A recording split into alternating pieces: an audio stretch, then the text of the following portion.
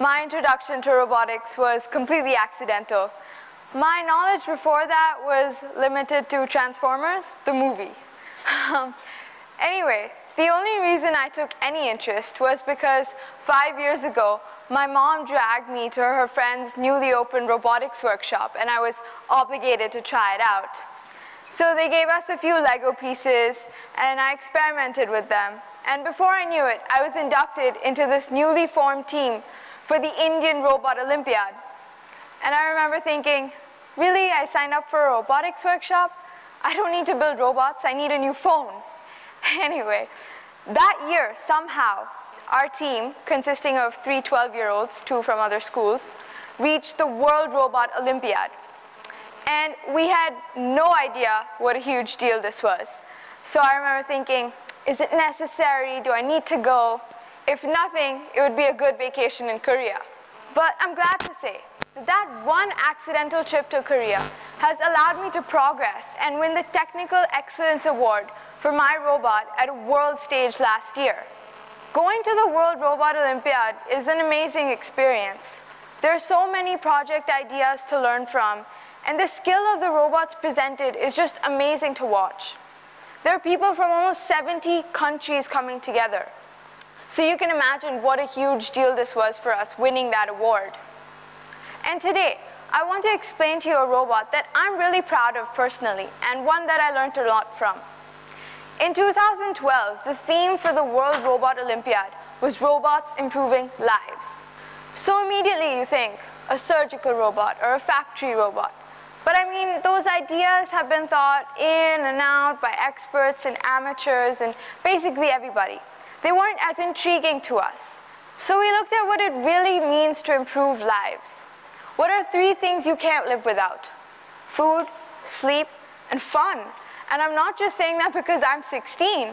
It's psychologically proven that you need some sort of recreation for mental stability. What we also realized was there aren't enough recreational options for people with disabilities, specifically the visually impaired. Just to give you some context, the current technology that allows the visually impaired person to play basketball is just a simple set of bells placed inside the ball to help detect its location. But that doesn't allow them to fully enjoy the game or even compete to the person, compete to the level of a person with vision, simply because it's so much harder to play games and other sports, depending on only your other senses. But just think about it. What game can I or anyone here play against a visually impaired person without having any unfair advantage? So we thought of air hockey. Now you're thinking, air hockey with all these movements, how is it applicable to the visually impaired? I'm sure you all know this game, and so you also know that it depends on vision because the puck moves pretty fast. You need quick reflexes, and the, and the objective of the game being scoring the most points, you need to know where the goal is. But we were convinced that if we could somehow convert the visual feedback that the eye gives us locating the puck, finding its speed, locating the opponent's goal. If we could somehow convert all this visual feedback into a tactile setting, then we could make air hockey a possibility for people who couldn't see. So now let me explain to you how the actual robot works and some of the logic that went behind it. This is what our game board looked like. The first thing we did was divide the game into three identifiable systems. The first was responsible for the movement of the puck. How did it do that? Well, each player was given a panel on their left-hand side, and they were required to place their uh, left hand in this confined rectangle. And underneath was an axle, which is just a thin movable rod. So this rectangle was a miniature representation of the board, and the axle was a miniature representation of the puck. So as the puck would move across the board, the axle would move across the rectangle, imitating that exact same movement of the puck. So when the visually impaired person put their left hand on this confined rectangle, they would feel the axle moving underneath. And so they could decide when they want to hit the puck and how. Now, in this animation that I'm about to show you, I need you to concentrate on the puck, but also on the axle. And you'll see that they move exactly in sync. Now I have a small uh, video also which shows what's happening underneath the puck tracker. So it's in slow motion first. So as the puck moves towards me, the axle imitates that movement. And this is what it looked like in real time. The second system was responsible for the location of the opponent's striker. Why is this important? Because as I said before, scoring the most points is the objective, and knowing where the opponent's striker is uh, helps you to aim better. So say the opponent's striker was in the left-hand side. You'd want to aim at an angle to the right so you have a better chance of scoring. Now, what we did was we gave the player a glove, and they were required to wear that glove on their left hand as well. And this glove had six vibrating motors sewed onto it, two rows of three, exactly like that. And each motor represented a relative rectangle on the opponent's half of the board.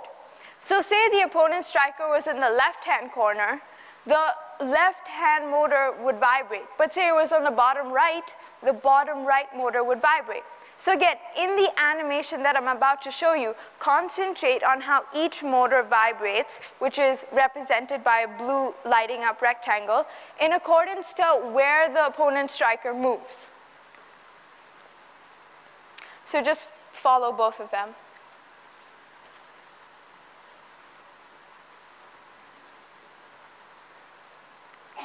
And this was the position of the six motors.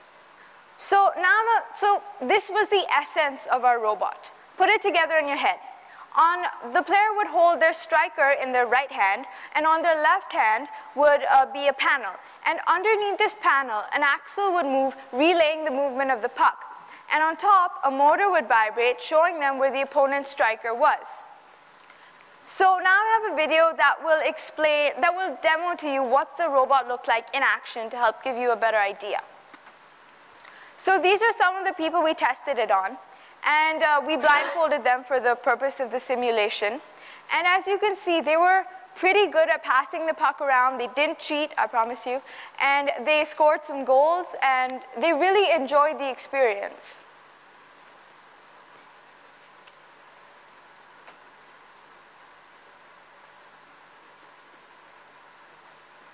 But to test our robot's true capabilities, we, look, we actually visited the Happy Home School for the Blind. So we set up our whole robot there for the children, and it was really satisfying to see how excited they were. I think the novelty of the concept really got to them because they were fascinated by the moving axle or the vibrating motors. And in the end, I think it's safe to say that our idea was a success because A, they were able to play the game, and B, they really liked the idea. It was most exciting to see our project materializing in front of us. But looking at them, we realized that some of the children couldn't play if only one um, child was available, this being a two-player game. And that's where we got the idea for the robotic arm. So we created an arm that would play single-handedly against the visually impaired person. So it has a hinge joint in the center attached to its own striker. And looking at how, looking at the movement of the puck, it decides whether to play defense or offense. And then when the puck comes in range, it swings to the correct position and then pushes out. So after six long months of overcoming limitations, figuring out better construction strategies, and a lot of pizza, our robot was complete. But this project got me thinking, where is this all going? The possibilities are endless. 20 years ago, robots couldn't even perform simple motor movements. And then came communication and mobility and so much more. This all points towards one ultimate goal, robots becoming human-like or humanoid, evolving into the creator. A perfect robot needs to be as functional as you or me. And so in our development, we are constantly finding solutions to transferring our everyday functionalities into a robot. Put simply, to understand robotics, we need to understand us. Today, it's robots improving lives. Tomorrow, it'll be robots working with humans to make unparalleled inventions. The age of Robo sapiens is here. The robot revolution has begun, and I'm thrilled to be a part of it. Thank you.